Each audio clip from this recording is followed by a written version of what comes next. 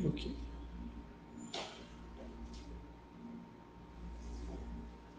Assim mesmo? Não, ao vivo. Ao vivo, isso. Assim.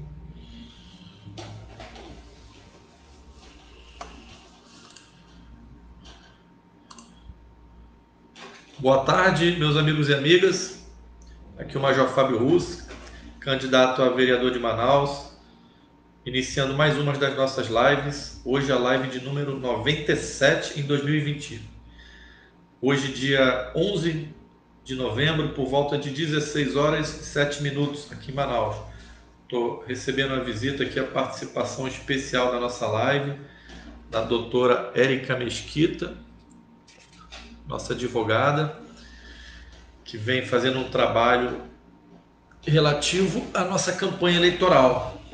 Doutora Érica, seja bem-vinda. Estamos falando aqui, além do seu próprio Instagram, no meu Instagram, no meu, na plataforma da minha página do Facebook e em dois perfis de Facebook, Fábio Rus 2 e Fábio Rus 3. Aproximadamente umas 30, 40 mil pessoas em condições de assistir a gente. Quem tiver online pode deixar mensagem, comentário, pergunta e depois essa live vai estar publicada. Né? Então, novamente, seja bem-vinda, doutora Érica. Obrigada. É, vou deixar aqui para você falar um pouquinho sobre você, sua formação, né? sua, sua experiência e para os nossos amigos e amigas que estão acompanhando te conhecerem um pouquinho mais. Bom, boa tarde, pessoal. Meu nome é Érica Mesquita, sou advogada, Sou pós-graduanda em Direito Público, estou trabalhando na campanha do Major. E é basicamente isso, né? Tenho aí um, um, um ano né, na advocacia, sou recém-formada, mas estou aprendendo bastante na campanha, que resolvi vir trabalhar, ajudar, pegar uma experiência boa. Qual foi a faculdade que você fez? Eu estudei na FOMETRO. Ah, é. Eu também estudo na FAMET, então aí um Tá. alô aí para nossos amigos e amigas que são advogados formados na FAMET ou que são alunos da FAMET. Estou vendo alguns aqui online, estou vendo até o doutor Jefferson Portilho, conheceu o Portilho, cabo, que era cabo do Exército, tá te mandando um abraço, acho que te conhece lá da faculdade. Um Portilho. abraço. Conhece ele? Eu, agora sim eu não. O Portilho? O Portilho servia comigo lá no grupamento de engenharia e ele formou recentemente na FAMET também, advogado também. A gente sempre mantém o contato. Muita gente. Soldado Moura, que trabalha comigo lá também, lá no, no grupamento de engenharia também, estuda na FAMETRO, ele está no oitavo ou sétimo período. Bom, vamos voltar aqui ao nosso foco aqui, né? É, eu botei aqui na chamada dessa live, né? Aproveitar a participação da Érica, para a gente falar um pouquinho sobre crimes eleitorais, né? Sobre essas práticas que a gente vê acontecendo todas as eleições. É impressionante. Nós estamos aqui hoje há aproximadamente quatro dias das eleições e, e ouvimos diversos relatos. Já recebi também pedidos e, e tentativas, eu vou chamar assim, porque comigo é tentativa, porque eu não faço nada disso. Tentativas de, de crime eleitoral, né? E às vezes eles não percebem que estão fazendo, porque já vai no automático. Ah, eu só vou votar se, É verdade. O, se me, me der uma cesta básica, algo do tipo. E isso já é uma compra de É, voto, né? uma- Que caso, caso o candidato aceite, né? É, por mais que seja travestido, né, numa, não, numa ajuda que eu estou precisando, não, não interessa. É que o período eleitoral, eu, por exemplo, sou candidato, então eu não posso dar nenhum tipo de ajuda financeira, ou de bens, ou de brinde, ou de comida para ninguém. Independente se for votar ou não for votar. Mas o pessoal costuma colocar as coisas nesse sentido, né? Então é uma, é uma prática muito comum.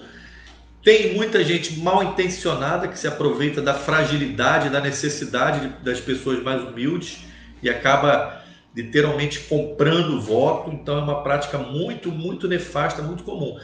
É, Inclusive, sim, pode ser. inclusive o cidadão, o eleitor, ele é o, o maior fiscalizador né, de- de- dessas práticas. Eles podem de- denunciar e caso venha a denunciar, o, o candidato ele pode ter a sua candidatura cassada, né? É, não- Também. É, e, e caso eleito também, né, o seu próprio mandato cassado. Então a mensagem que a gente que quer deixar para vocês aqui, apesar da gente estar ainda começando a live, eu ainda vou ler aqui os comentários, é que caso vocês sejam abordados por algum candidato ou assessor de candidato ou cabo eleitoral oferecendo esse tipo de situação de compra de voto, de pagar para botar adesivo, pagar para colocar isso, aquilo, denunciem, denunciem. Existem ferramentas para isso, um aplicativo de celular chamado Pardal. Se possível, registrem com fotos, vídeo, para que esse candidato que está cometendo crime eleitoral, ele não possa, depois de eleito, continuar cometendo os crimes. Porque com certeza o candidato que se, se se faz esse tipo de prática, ele não é um bom candidato. Ele vai prosseguir fazendo, é, tendo um mau mandato, passando quatro anos ali e não trabalhando, não produzindo. Bom, vou ver aqui alguns comentários. Estou vendo que a Érica, que o, o, o, Instagram dela tá bombando, né? tá bombando de amigos e amigas um beijo, deixando. Gisa, advogada, doutora Gisa. Aí, um abraço Luane. também à doutora Gisa. Seja bem-vinda.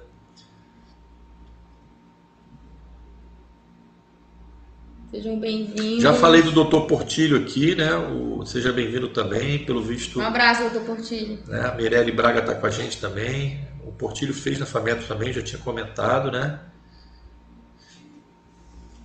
Ah, vamos ver aqui. Elisângela Pereira, boa tarde, Major. Aqui é a Elisângela de Boca do Acre. Seja bem-vinda também. Um abraço, um alô para todo mundo de Boca do Acre. Apesar da eleição ser municipal, mas vocês podem ter certeza que Boca do Acre está está no meu, na, na, na, meu, no meu coração. É um município que me deu muito voto em 2018 e eu pretendo continuar trabalhando com vocês em 2022. Esse ano não dá, porque a eleição é municipal, né? mas os candidatos de Boca do Acre, né? tudo, eu tenho alguns amigos aí também, uma boa sorte. Doutora Yolanda Santos também está com a gente.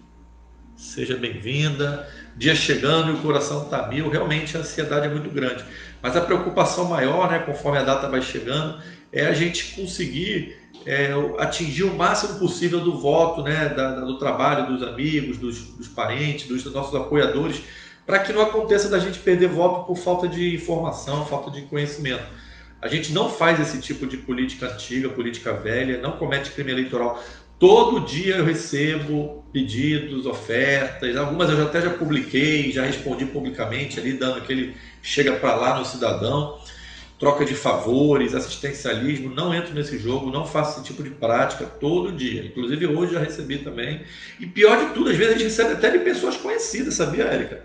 Eu recebo pedido assim, né? Já, pedido, a, a, vamos chamar assim, propostas indecentes é, de amigos e amigas. Sim, amigos e amigas. É que é mais chato ainda você dizer não para um amigo para uma amiga. Inclusive com relação à adesivação de carro e tudo mais. Ah, não vou ganhar gasolina, não vou ganhar alguma coisa. Não é assim. E parece que está cada vez pior, né? Eu não entendo assim. É, são são duas coisas que eu não entendo. Uma, a pessoa não está conectada, ela está desconectada da realidade atual do país, de uma nova onda, de uma nova, sei lá, uma nova percepção de política, de honestidade. Pessoa que está desconectada disso. E outra, a pessoa não conhece o meu trabalho, não conhece a minha campanha, ela está desconectada da minha formação, do meu nome. Eu recebi hoje um pedido de uma amiga Olha, eu, eu vou votar em você, mas eu preciso do, da gasolina pro, do, do, de pagar o Uber, porque senão eu vou votar em branco, porque você tem que pagar o meu Uber. Cara, eu olhei assim, nem, nem respondi. É complicado, né? E aí é, é acaba que você sendo corrupta ou corrupto, você tá querendo eleger um corrupto, porque se caso ele aceite, né, ele vai ser mais um lá na, é, pra lhe representar. Aí, então, às que... vezes, não adianta muito. Às vezes a gente reclama da velha política, de. Da atuação dos políticos, né? De desonestidade, de falta de comprometimento, de ineficácia, que a classe política está desacreditada, a gente reclama tanto, mas acaba fazendo, tomando as mesmas práticas. As nossas atitudes influenciam. Acaba que influencia, né? É. De uma forma ou outra. Então eu, eu, eu é, me surpreendo, assim, a cada dia assim, eu recebo uma coisa, uma, um pedido, uma mensagem que eu fico surpreso assim como que a pessoa está ou desconectada do meu trabalho ou desconectada da realidade. É tipo assim, parece que está tão impregnado, sabia? Parece que está tão impregnado na pessoa aquela coisa de achar que é, ela está me fazendo um favor que eu tenho que pagar ela, tenho que ajudar ela, porque senão ela não vota em mim. Ela não vê que ela votando, anulando ou, ou deixa botando em branco, ou faltando no dia, ela está prejudicando ela mesma, a sociedade, a família dela. Vai ter outros aí que vão ganhar porque compraram voto e vão se eleger, e a pessoa não tem esse nível de capacidade, de percepção. Eu, sinceramente, tem hora que eu, cara, eu simplesmente não respondo, porque olha. Às dá, vezes a gente fica, dá tristeza, é na tristeza, verdade, né? Exatamente. É tristeza. Dá uma tristeza, dá uma, um sentimento de, poxa, como essa pessoa que a gente conhece, que supostamente é um amigo, uma amiga, ela está desalinhada da, das coisas. Mas bom, isso aí infelizmente é uma realidade. Sem falar na questão né, criminal, na questão que, pô, é, esse, esse tipo de situação é cometer um crime. Poxa, a gente que é, é ficha limpa, que tem uma história, tem uma carreira, tem uma formação militar. Eu estudo direito, eu faço direito também, estou no sexto período, né? Uma hora eu termino, né, doutora? Será que um dia eu vou ser advogado também, passar no Tá AB? bem aí, tá bem pertinho. Não sei, ainda tem muito chão para caminhar. Quer dizer, eu tenho noção do que, que isso implica em termos legais. É, como a gente falou agora, uma possível impugnação de candidatura, Cassação, uma né? cassação de mandato, um pagamento de multa. Não digo nem que dê multa isso, porque isso aí é tão grave que não deve nem ter multa, deve ser já direto para penalidades mais sérias. É, é, em alguns casos cabe é, pena de multa e a cassação da, da candidatura. É, é tudo uma questão de provar, né? E a gravidade da, da coisa. A gente viu que tem recentemente políticos que foram. Eu vi, temos senadores eleitos. Tivemos aqui no nosso estado governador que foi, foi afastado. Vemos em outros lugares políticos que já com mandato já de governador e senador por causa de compra de votos, etc, etc, foram caçados depois. Como é que o, o candidato ele se sujeita? Ele acha que ele vai hoje em dia na era da informação, tudo é filmado, fotografado, Eles acham que vai passar impune, Ele acha que vai né? passar impune isso. Então, é, é um negócio assim que, que surpreende, assim, ao mesmo tempo que decepciona, chateia. A gente vê tanta pessoa boa que é candidato. Eu tenho amigos e amigas que são candidatos. Já falei o nome de vários aqui. Pessoas boas, pessoas bem intencionadas, pessoas com formação boa e que não vai ganhar a eleição porque realmente é uma, o processo eleitoral é uma coisa complicada. Ela envolve você atingir públicos, envolve você fazer as suas propostas, seu nome chegar, né? Não é uma coisa só de superficial. É, chegou e é todo um trabalho, né? De, de, Isso, isso. Muitas dessas pessoas não têm a capacidade, mesmo financeira, por mais que o partido não consegue ajudar, ou ela não tem uma capacidade financeira de, de- de investir na sua própria cam- campanha, investir de maneira honesta. Sim. Aí outros investem de maneira desonesta, fazem práticas, compram voto, procedimentos é, totalmente irregulares e ilegais. Então a gente Aí- vê, infelizmente, essa inversão, né? É uma inversão. Também, às de- vezes, eles usam por ter uma condições melhor, né? Mais em caixa e tudo mais, É, é para praticar essas é o poder econômico, né? condutas. Vamos ver aqui mais alguns comentários aqui dos nossos amigos e amigas.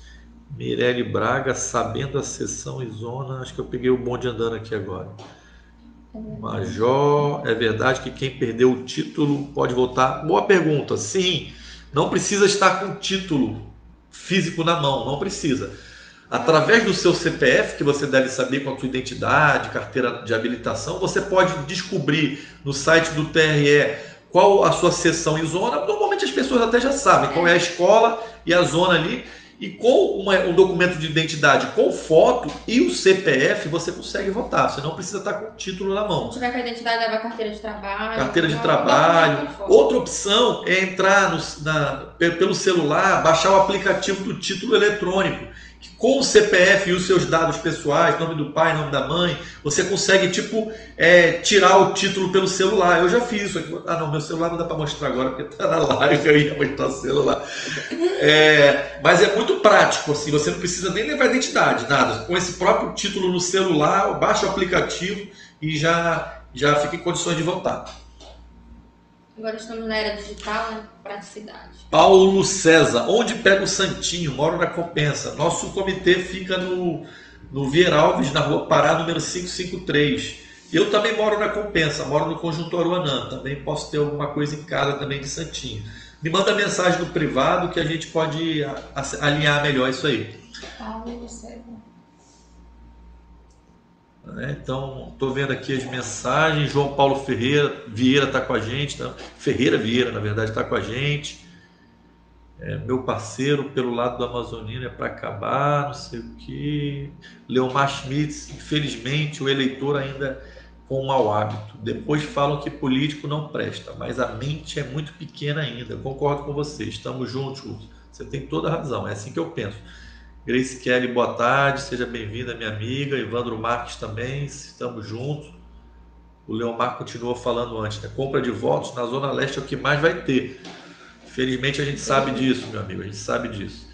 E, e vocês podem, vocês são, são os, os principais fiscais. Isso.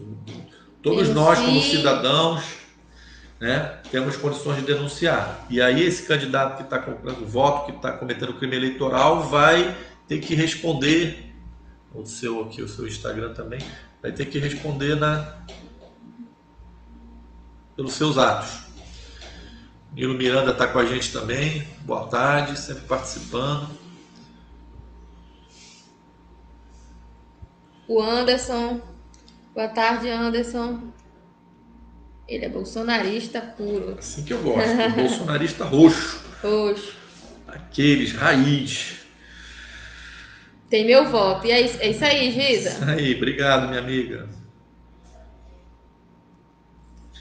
Estamos nessa reta final, né? faltando menos de, se for considerar, né, sete horas da manhã de domingo, faltam menos de quatro dias, né? Então, é, desligou o computador. Ah, então, é, parece que falta muito tempo, mas não é não, é reta final mesmo. Todo o apoio, toda informação, tudo que vocês puderem levar, compartilhar da nossa campanha, vai ajudar, com certeza ajuda. Tem muito eleitor indeciso, muito eleitor que não conhece ainda nenhum candidato, não conhece, não tem candidato, que quer receber, quer, digamos assim, ser atingido por um nome que possa representar suas ideias, de preferência um nome bolsonarista, de direita. E eu tenho certeza que os eleitores de bem, pessoas de bem, procuram nomes com, alinhados com as minhas propostas, com as minhas bandeiras. Até porque eu não faço campanha para bandido e mau elemento, eu só quero voto de pessoas de bem, pessoas que são esclarecidas, são conscientes, de preferência eleitores do Bolsonaro. Então é esse tipo de eleitor que eu trabalho. Josimar França, boa tarde, está online com a gente aqui no Instagram também. Boa tarde, Milena, bem-vinda. Rezende Machado também está aqui com a gente, boa tarde. Estou tentando ler todos, né? vamos que vamos aqui. Quem tiver alguma pergunta, alguma, alguma coisa a mais, a gente vai, vai levantando aqui. É, existem também né, alguns procedimentos irregulares em relação a campanhas eleitorais, não só nessa, nesse trato com o eleitor, mas também em relação ao material de campanha. É, hoje em dia, a campanha eleitoral ela é muito amarrada. Tudo que você pode e o que você não pode fazer. Desde o tamanho de um adesivo, desde o perfurado de carro, o que está escrito no santinho ou no material de panfleto, tudo isso é amarrado pela Justiça Eleitoral. O tamanho da letra, o que tem que aparecer, o CNPJ do candidato.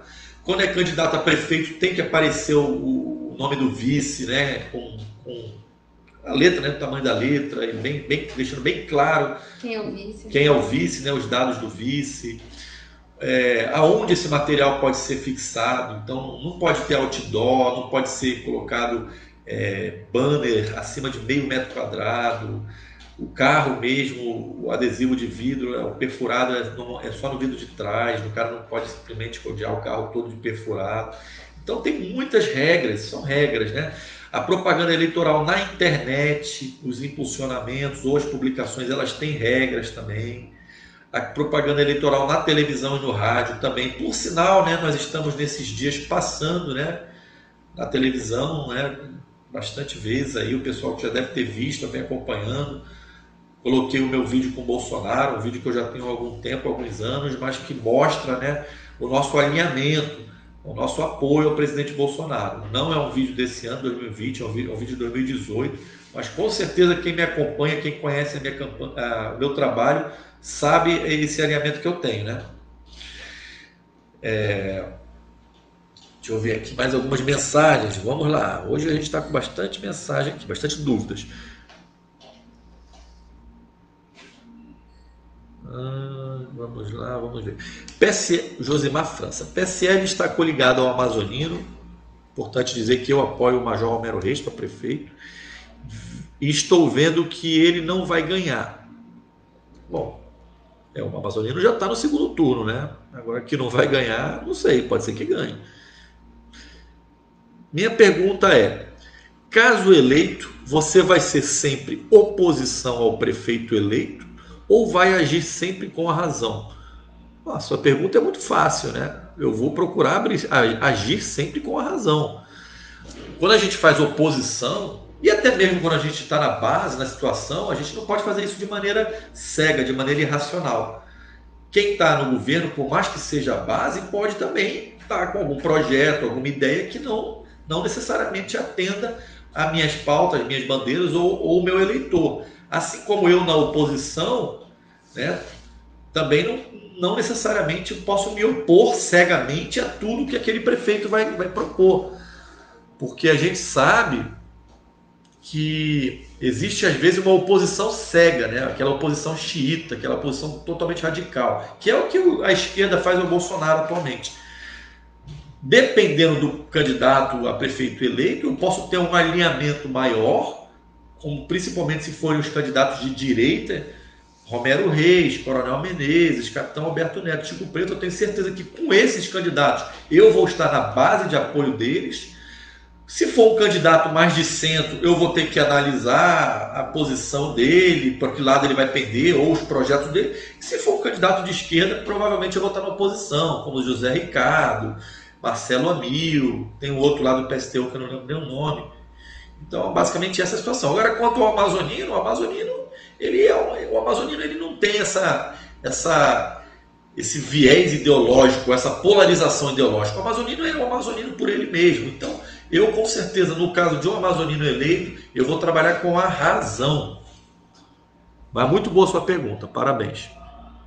Doutora Érica, o que a senhora acha disso?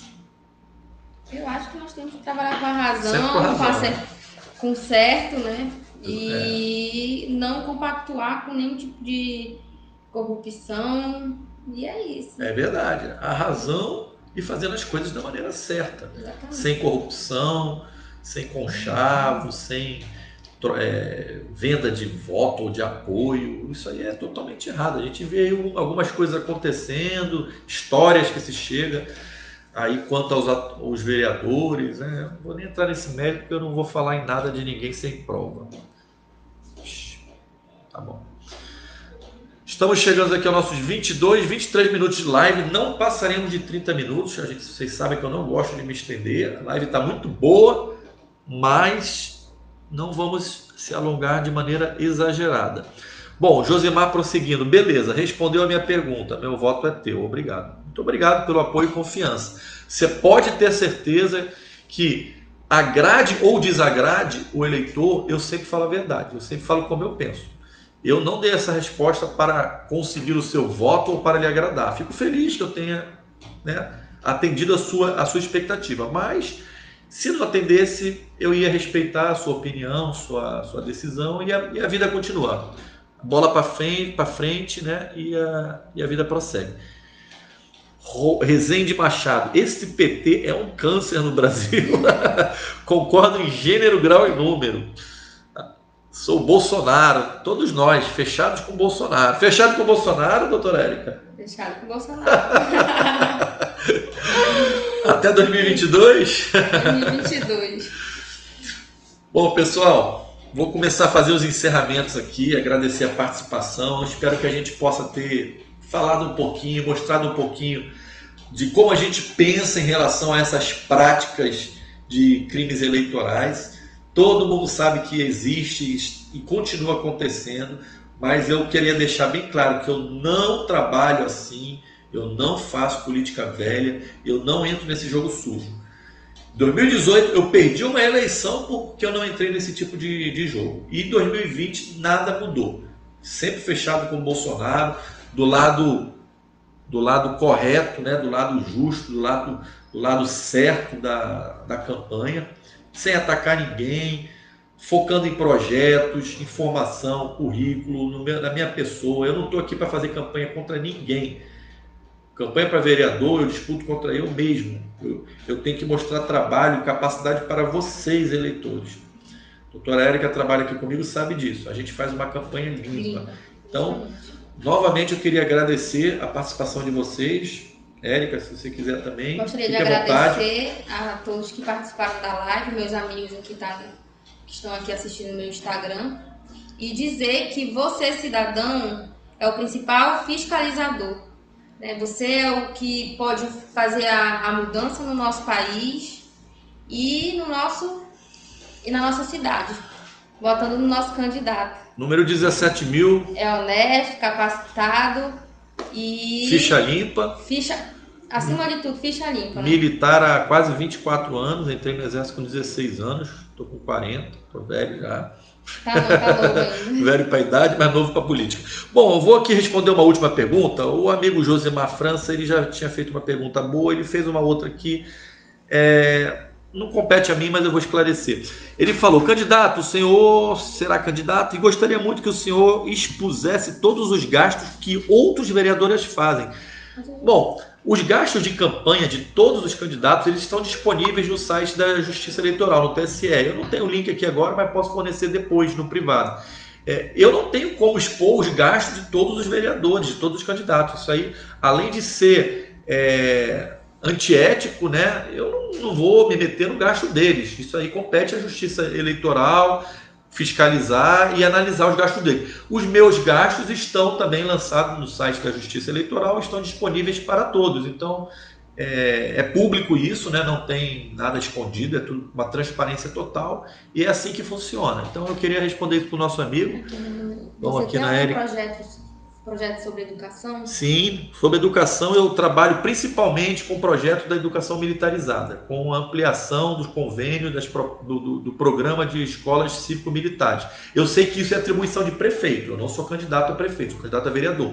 Mas como vereador a gente pode é, é, propor ampliar isso como projeto de lei, como projeto de propostas de, de, de, implantação pela prefeitura e vai ter todo o meu apoio caso o prefeito eleito queira carregar essa bandeira. Caso ele não queira, a gente vai pressionar para ele, para ele implantar. Essa é a minha principal proposta. Temos algumas outras também ligadas a esporte, a valorização do professor, mas agora não é o, o foco dessa live, né? E está nas minhas redes sociais, bastante coisa publicada. Se quiser conversar comigo no privado, será muito bem-vindo.